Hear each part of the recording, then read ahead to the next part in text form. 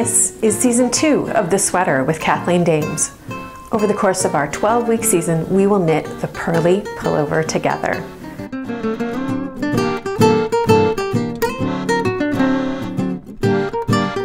Hello, my friends, and welcome to episode 11. I'm gonna do it that way because I don't have 11 fingers to hold up. I am so excited. My sweater is finished. All the finishing work is done. All the stitches have been knit. Everything is bound off and woven in and all that good stuff. And it's time to give my sweater a bath. And I think blocking is such a great moment. Um, hopefully you've gotten gauge and everything is, is knitted to the proper size so that blocking is just giving everything a chance to smooth itself out and, and be the sweater that it wants to be. So I have my blocking tools here that I'll be using for sweater. They're a little different than what I would use for lace or, you know, particularly like a shawl. So um, I have, today I'm using some soak wash. I, this is not an endorsement. Soak is great. There are plenty of other wool washes on the market, so get what works for you. I've even been known to use a gentle shampoo um, because really you just want a mild, um, a mild soap to get the oils from your hands and any dirt that may have accumulated in your yarn. You want to get that washed out. And um, I, I, know a lot of people don't rinse soak. I end up doing a second rinse because I am a sensitive creature. So um, bear that in mind. If you, you know, if you like the scent and, and all that stuff, that's great.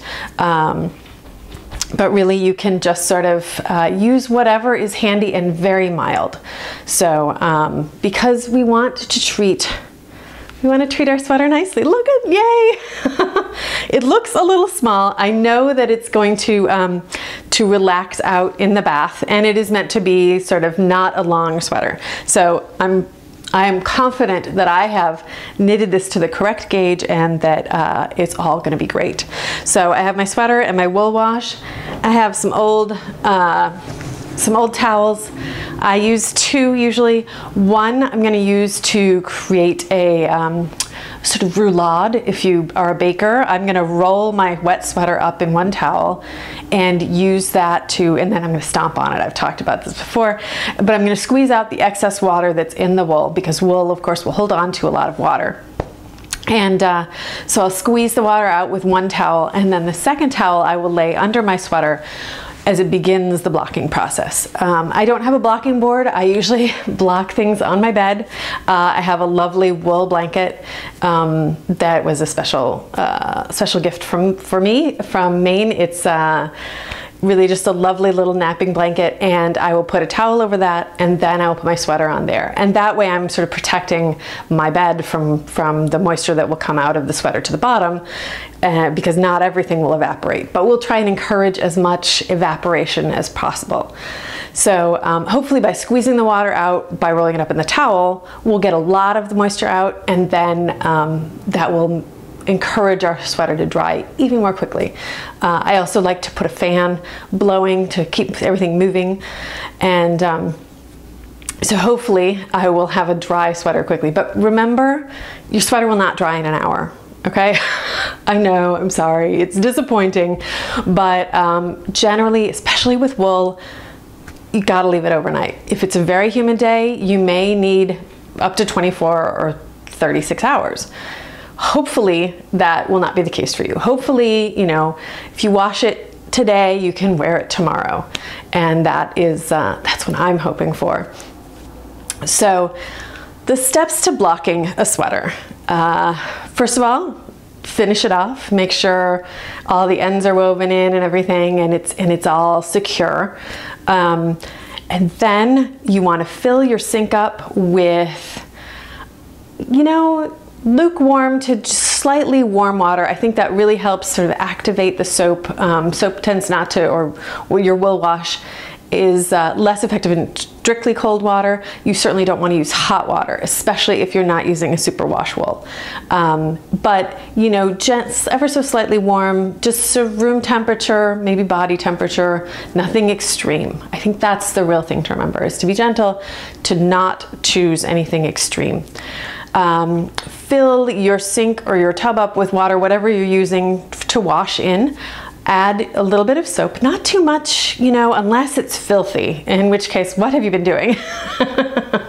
but, you know, just a little follow the directions on your wool wash if you're using shampoo, just a, you know, a little bit more maybe than you'd use to wash your hair. Um, that's my recommendation. And then swish it around, make bubbles, that's the fun part, and then gently submerge your sweater in. Um, sometimes when I'm really uh, feel like I'm pressed for time, I will put my sweater in while I'm filling up the sink. But because of temperature fluctuations in the taps, I tend to prefer making sure the water is the right temperature before I put the sweater in. So put your sweater in, push it down gently, make sure it's absorbing all that water. You may even need a little more water. Um, always err on the side of more water. I prefer my sweater to just barely float in its, uh, in its bath because that means that there's plenty of water and your wool can take up quite a lot of water. So you wanna be careful with that you don't want part of it to not get fully washed and relaxed because the bath is a relaxing thing for your sweater. All the stitches are gonna relax, they're gonna settle into their final position, and this will help in smoothing out all those stitches and making them even.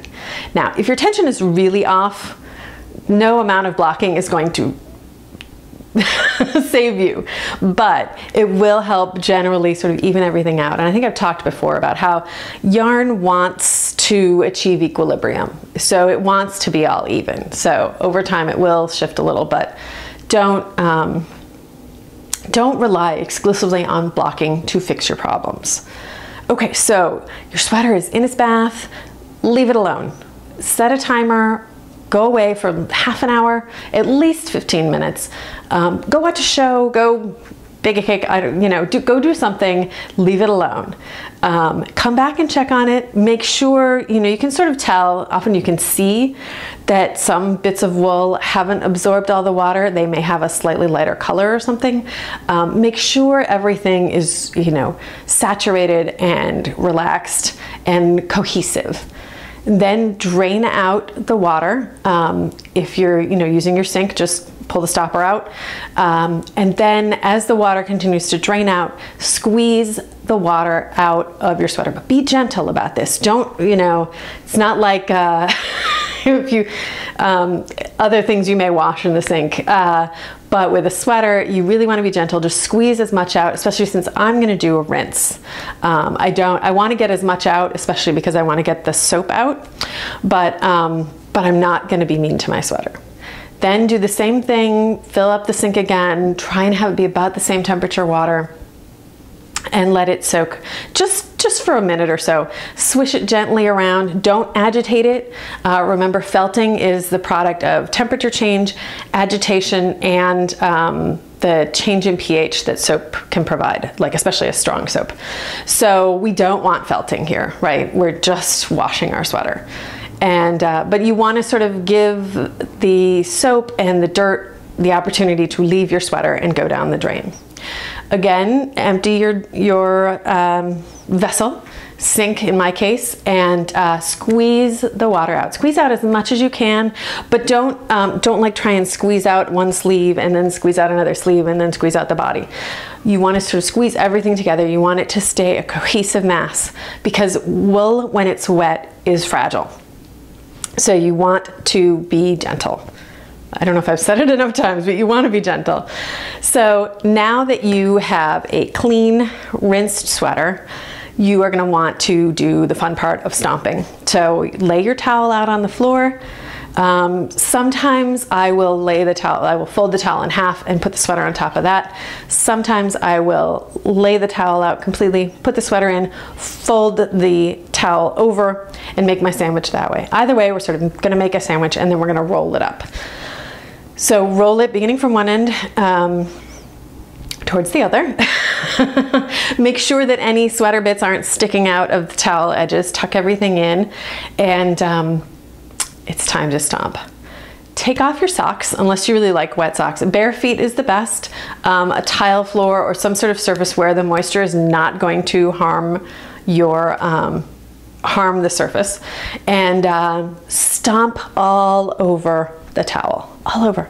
Stomp, stomp, stomp. You'll feel the water come out into the towel. That means it's leaving your sweater, which means it will take less time to dry. These are all good things. Um, and go back and forth maybe once or twice. So you really you sort of get a feel for it and you feel like, okay, it's, it's all good, it's out. And then you unroll and gently move your sweater to your final blocking surface.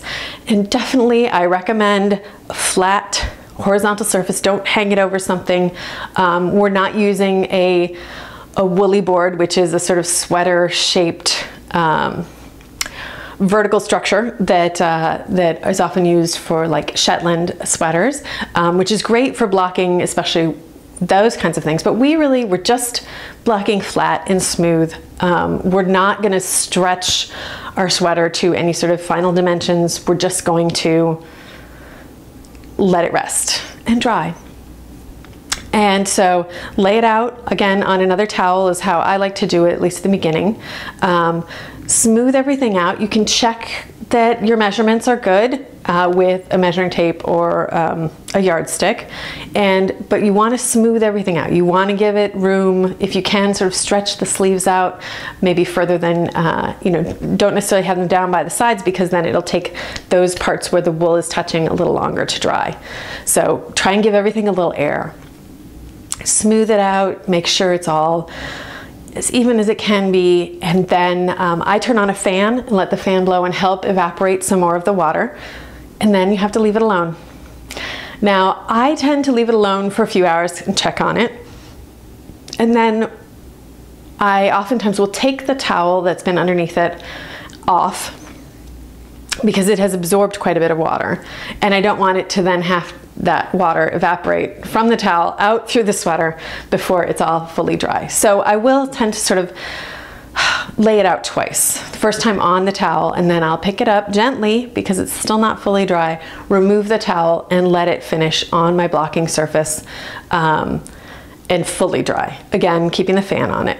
So that it really, um, we're getting as much moisture out as possible. If you are worried about your blocking surface, you could use a third towel and just change the towel uh, for a really dry one. And that will help too, um, as long as we're getting that moisture away from the sweater. And then and then it's done. You know, this is a pretty simple sweater, um, so we don't have to worry about buttons or, or any kind of lace stretching or anything like that. We just want it to be smooth. Um, it's up to you whether you want to block it purl side out or knit side out. If you want to um, sort of have that anticipation and excitement of the big reveal of what it's going to look like purl side out, block it knit side out. This is purl side out. Um, if you just you want to know what it's going to look like, then turn it purl side out before you start the whole blocking process. Don't turn it inside out while it's all wet. Again, wool is very delicate when it's wet. It has amazing properties, it maintains warmth, uh, but when it's wet, but it is more delicate and the fibers are more apt to break um, or be put under stress at that point. So that's the only sort of other thing I have to say. The one other thing I want to say about blocking is I tend not to um, try and fix problems in blocking, so I don't stretch things really hard. Um, for one thing, it doesn't work if you're using a superwash wool. I'm not using superwash wool, so I could stretch and strain those fibers. Again, the fibers are delicate, and I don't really want to do that.